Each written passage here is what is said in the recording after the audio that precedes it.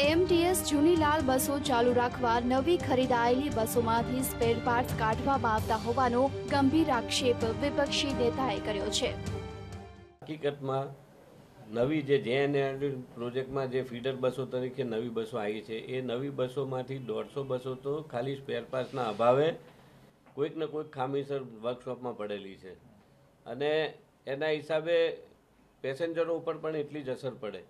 અને ફીડર બસો જ્યારે નવી જ બસો આવેલી હોય અને નાના નાના કોઈ રિપેરિંગ કામ માટે થઈ અને એ બસો જ્યારે ત્યાં પડી રહી હોય તો હું એમ માનું છું કે જે આ વહીવટી અણઆવડતનો એક નમૂનો છે.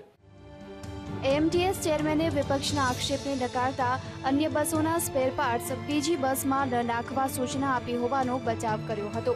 બસો પચાસ જેટલી બસો હાલ એએમટીએસ વર્કશોપ ખાતે સ્ક્રેપમાં પડી રહી છે, જેમાં સો જેટલી બસો બ્રેકડાઉન થઈ હોવાને કારણે આ પરિસ્થિતિ સર્જાવાનું ચેરમેન જણાવી રહ્યા છે. સાતસો પચાસથી સાતસો એંશીના એરિયસમાં એવરેજ બસો ચાલુ જ છે.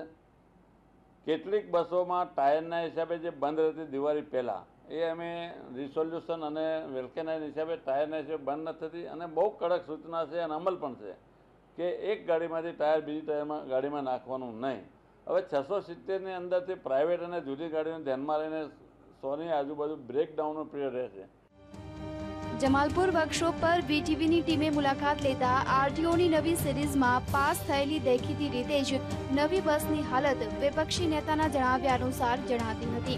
જે તદ્દન બિસ્માર હાલતમાં જમાલપુર બસ ડેપો ખાતે પડી હતી, જે વિપક્ષના આક્ષેપોને સાજા ઠેરવી રહ્યા છે. કેમેરામેન મેહુલ રાઠોડ સાથે પ્રણવ શાહ, વીટીવી, અમદાવાદ.